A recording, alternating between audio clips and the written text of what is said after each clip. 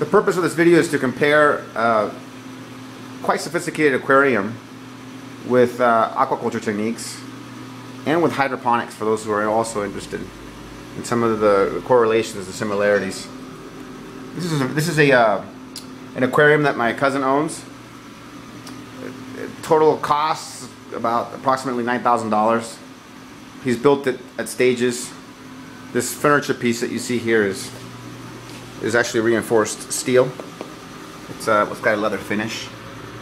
You can see the leather finish on it, but um, there's no way that a wooden structure would support all this weight. Um, you can really appreciate the uh, the fish here.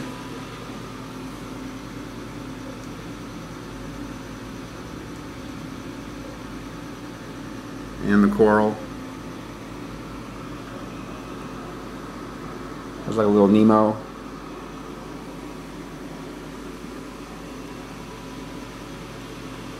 ¿Cuántos litros es? 600 liters total volume.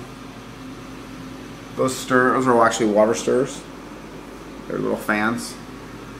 So in the same in hydroponics you see here, you have to keep also mechanical movement, just like with with wind on plants. Same thing.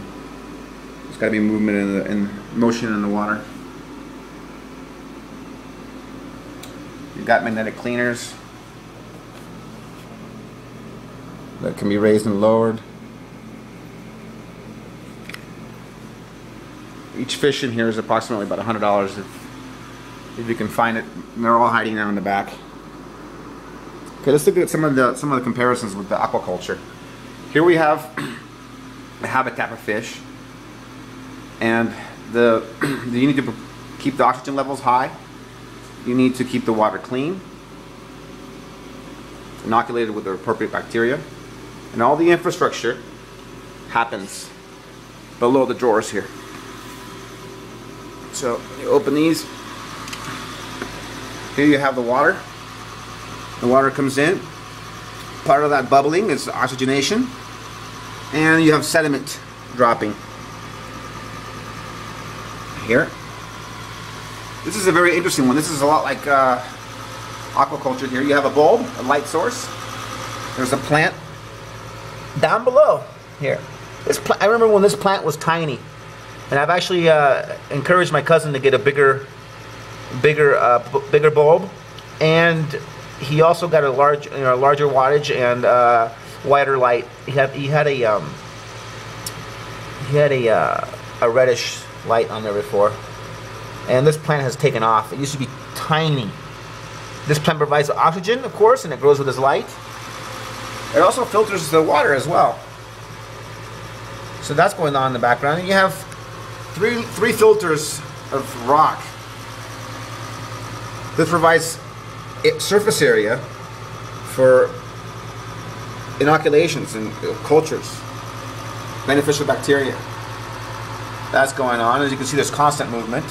There's another. This is actually, a, you know, a, a mechanical filter here. So you have one and two. And down below here, I don't know if you can appreciate that, but there's a pump and several bags with goodies that provide um, the condition of the water and provide the correct bacteria. All right. Now, recently we just introduced this piece. I just brought this from a few months ago.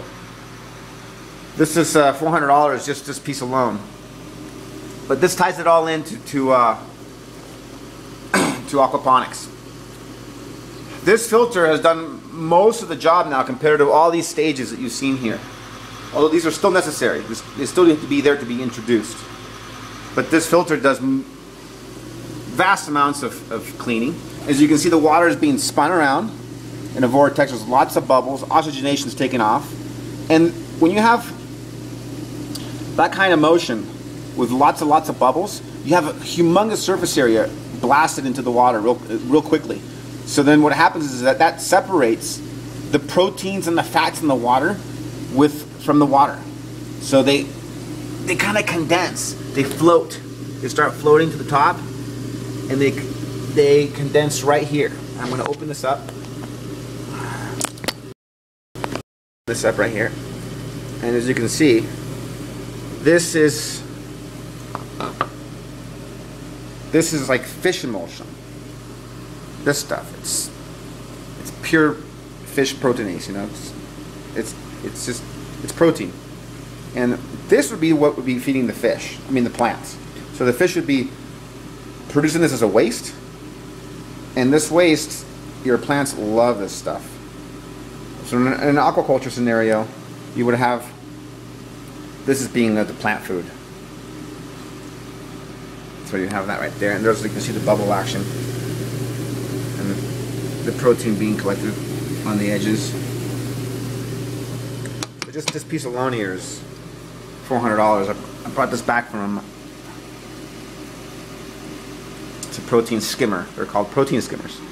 So yeah, you can see what the you know the operation, the cost of operating one of these is uh, anywhere between depending on how much your electrical bill is, how much you're paying for electricity. But uh, here in Mexico, it's a, about uh, fifty to seventy dollars a month to operate a uh, nine thousand dollar aquarium.